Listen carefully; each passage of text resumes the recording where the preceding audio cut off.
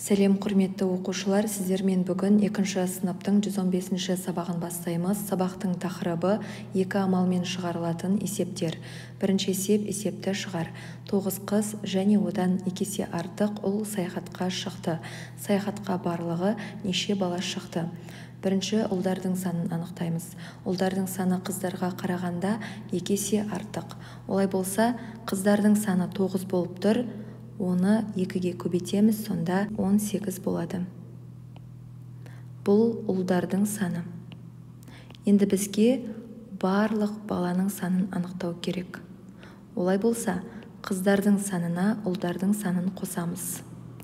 Сонда 9-ға 18-ді қосамыз барлығы 27 бала болады. Бұл барлығы.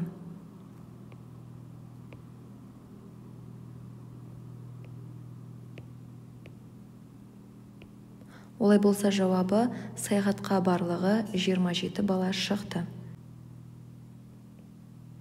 Келесі екінші есеп зерттеу сызба бойынша есеп құрастыр оны шығар.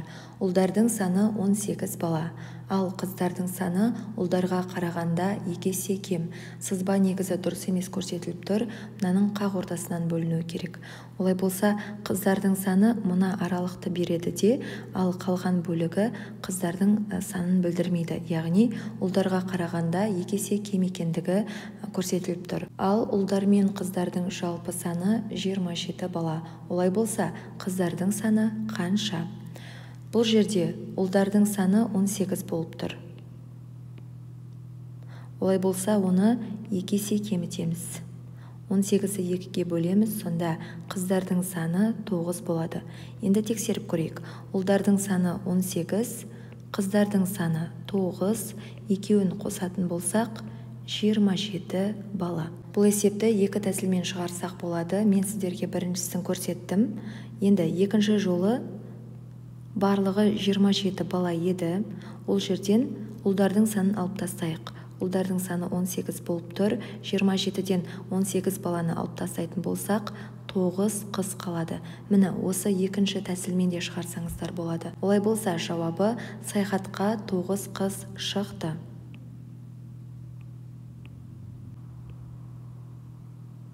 Келесі үшінші есеп зерттеу есепті шығар. Еліміздің астанасын тамашалауға мектебімізден 27 бала және 13 ересек адам келді. Олар 5 топқа тең бөлінді. Әр топта неше адам бар? Біз бірінші барлығы қанша адам болғандығын анықтайық. Ол үшін 27 баланың санын 13 ересектерге қосамыз. Сонда барлығы 40 адам. Осы қырық адамды бес топқа бөліп тастайды. Олай болса қырықты беске бөлеміз. Яғни бес топқа.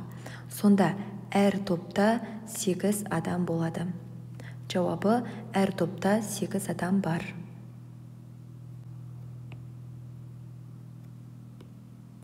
келесі төртінші есеп үшінші тапсырмадағы есепке кері есеп құрастыр оны шығар.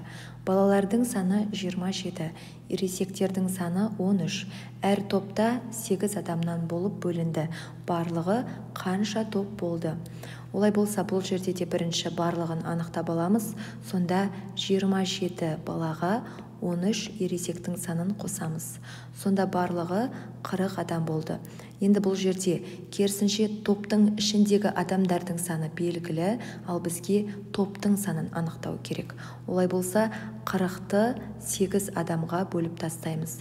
Олай болса бес топ пайда болады. Олар бес топқа тең бөлінді. Келесі бесінші есеп есепті шығар. Саяхатшылар өздерімен бірге төрт жәшік жеміс алып шықты. Әр жәшікте жеті килограмм жеміс бар. Бірінші күні алты килограмм жеміс шелінді неше килограмм жеміс қалды? Бірінші барлығы қанша килограмм жеміс бар екендігін анықтайық. Яғни төрт жәшіктің әр қайсының ішінде жеті килограммнан бар. Олай болса төртті жетіге көбейтеміз барлығы 28 килограмм жеміс бар. Оның 6 килограммы желінеді. Олай болса 28-ден 6-ны азайтамыз. Сонда 22 килограмм қалады. Олай болса есептің жауабы 22 килограмм жеміс қалды. Келесі алтыншы есеп суретке қара ақиқат пікірлерді ата. Суретте дөңгелек тіктөрт бұрыш шаршы және үш бұрыштар көрсетілген. Олардың түстері әртүрлі. Олай болса бірінші пікір барлық жасыл түсті фигуралар тіктөрт бұрыштар дейді. Жауабы ақиқат. Себебі шаршы да тіктөрт бұрышқа жатады. Олай болса ақиқат.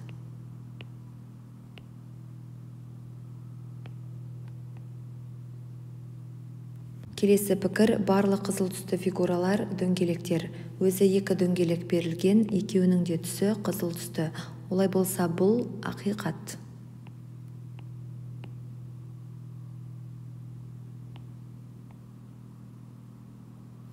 Келесі көк түсті фигура шаршы. Бұл жерде көк түсті фигура үш бұрыш болып тұр. Олай болса бұл жалған.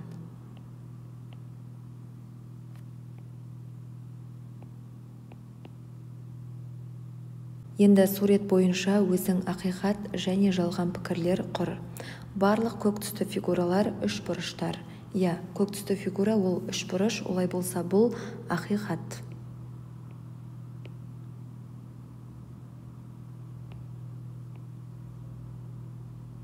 Барлық жасыл түсті фигуралар дөңгелектер. Жоқ жасыл түстілер ол тіктөрт бұрыштар шаршылар олай болса бұл жалған.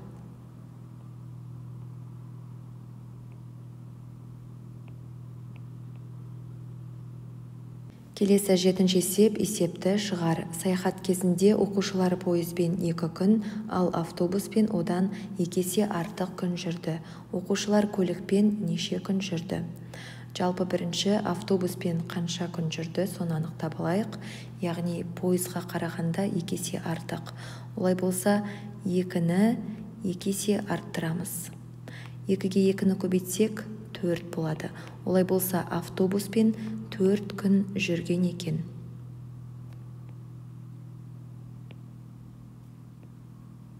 Енді бізден барлығы пойызбен де автобуспен де жалпы қанша күн жүрді соны анықтау керек. Олай болса екеуін қосамыз. Сонда екі күнге төрт күнді қосамыз. Жалпы алты күн жүрген екен. Олай болса оқушылар көлікпен алты күн жүрді.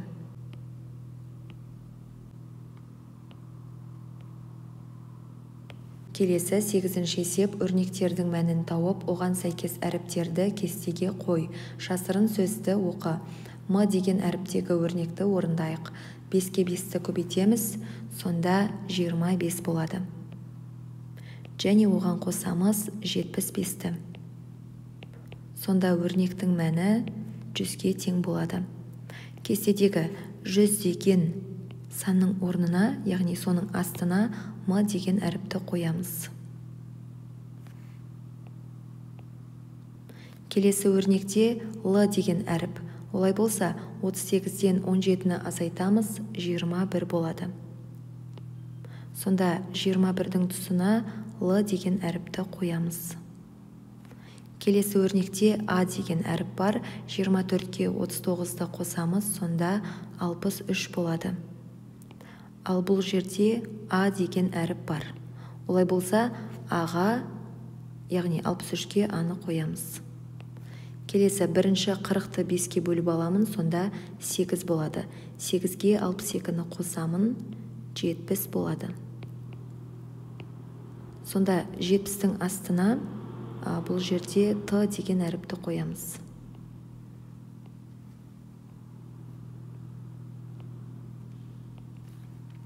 Келесі өрнекте бірінші төртке төртті көбейтіп алу керек. Сонда 80-нен азайтамын төртке төртті көбейтсем 16 болады. 80-нен 16-ны азайтсам 64 болады. Ал бұл а деген әріптің астына жазылады. Олай болса а болып жазамыз.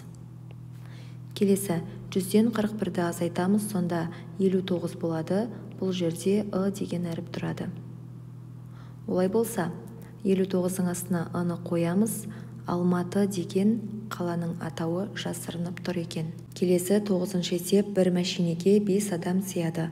он сегіз адамды жеткізу үшін осы мәшине неше рет барып келуі керек? Барлығы он сегіз адам. Ал бір мәшинеге бес қана адам сыяды.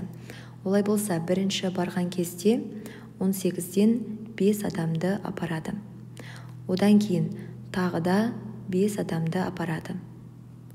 Және тағы бір рет бес адамды апарады. Олай болса 18-ден 5-ті бір рет азайтқан кезде 13 қалады. Одан тағы да бір 5-ті азайтамыз және тағы бір 5-ті азайтамыз. Екінші рет барған кезде 8 адам қалады. Тағы да бір рет барады. Сол кезде үш адам қалады. Үш адамды бөлек тағы бір рет апарады. Олай болса төрт рет апарған болып тұр. Сонда мына жерге дейін бір рет апарды одан кейін екі рет апарды мына жерде үшінші рет апарды. Және соңында үш адамның өзін тағы бір рет апарады. Олай болса төрт рет апарған. Жауабы төрт рет барып келуі керек. Және бұл есепті былай тексерсеңіздер де болады. Барлығы 18 адам еді. Одан бір рет барғандағы адамды алдық екі рет барғандағы адамды алдық үш рет барғандағы адамды алдық және де төртінші рет үш адамды алады. Соны алып тастаймыз сонда ноль адам қалады десеңіздер де болады. Міне достар біздің бүгінгі сабағымыз аяқталды. Келесі сабақтарды көру үшін каналға тіркелуді ұмытпаңыздар. Сау саламатта болыңыздар.